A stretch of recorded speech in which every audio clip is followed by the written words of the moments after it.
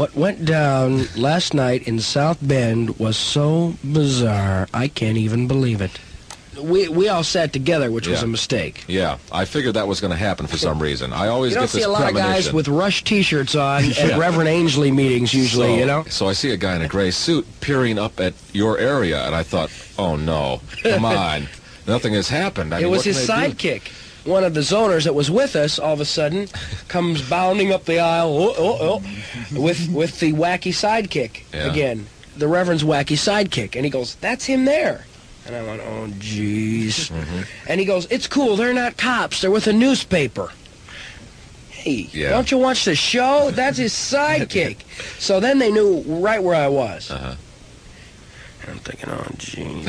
then another kid comes up and says, man, they just called. they, I just heard them call for like a million more cops, man. They're coming to get you. I went, oh, jeez. Uh-huh. Oh, jeez. We didn't know that the, the sermon was going to entangle all of uh, our group. There's some people here tonight That don't believe. That don't believe. They're up in the balcony. They know who they are. I know who they are. I could point them out to you. I'm thinking, oh my God, don't point us out. And I see the TV cameras wheel around looking for me. And oh no, you stayed. And then the sermon. That tell now tell me about. He told he predicted I would die. You could fall over. I remember these. I, Okay. I was very careful to remember these. You could fall over and be paralyzed. Your air could be pinched off like that, no trouble, and it's highly unlikely that that you would get home. Or maybe Because- not ever speak to people again. Right. Speak Oh, in front of people. He knew you were in this business. Don't be surprised if you read of a tragedy. I'm in the bar at that point. When I walked out, When I walked out, I went. At that point, I wished I wasn't in the Hawaiian shirts. I would have done anything for a real incognito look. Uh-huh. Uh, I was just whistling. Officer, hi.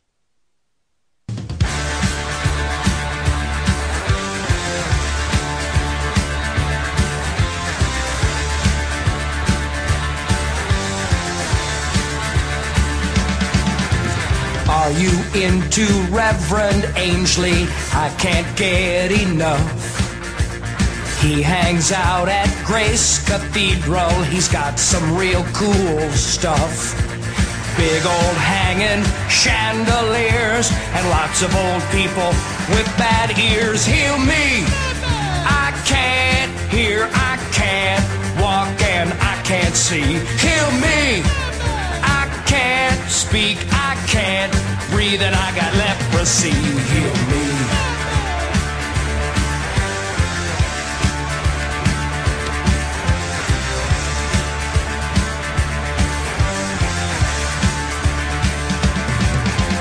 Wheel me in my wheelchair, darling. I can't seem to walk. He can make the blind to see and make the dumb to talk.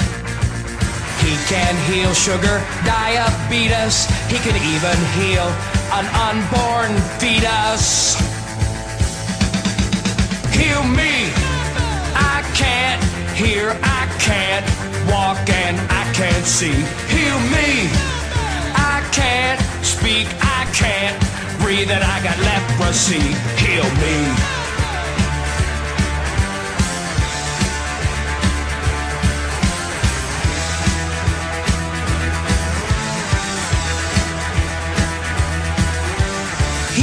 Is short and kind of fat and wears a bad toupee.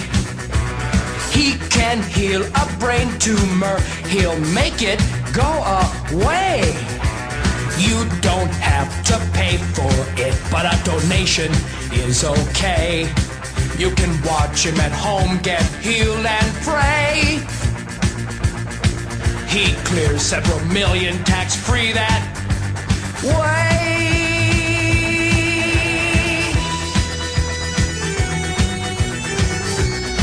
Heal, heal, heal. In the name of Jesus Christ of Nazareth.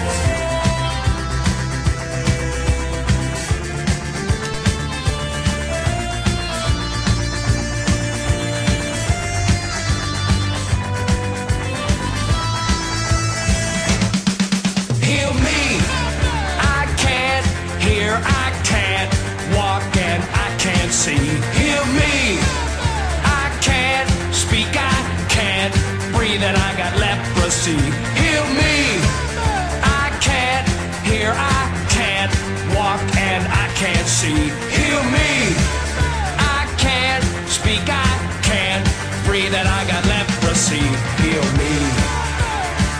Is anybody with this young boy? No, Reverend, I'm alone. And what's your name, please? My name is Jethro. Where are you from, Jethro? I'm from Pennsylvania. Pennsylvania. You've come a long way down to Grace Cathedral here in Ohio to have a miracle, and I'm going to give you one. What's your problem, son? Totally deaf in both ears. Well, then what are you doing answering me back if you're deaf? I read lips. I see. Okay, are you ready for a miracle, Homer? Yes, I am. It's Jethro. I'm sorry, Jethro. In the name of Jesus Christ, prepare the eardrums, thou deaf spirits, come out! Let's try the left ear. Can you hear that? Yeah. Let's try the right ear. Can you hear that? Yeah. Filet? Filet. Oh. Oh. Fish. Fish. Huh? Huh? Bocce. Bocce. Core. Core. Doba. Doba. I'll love to teach them after they've had a miracle.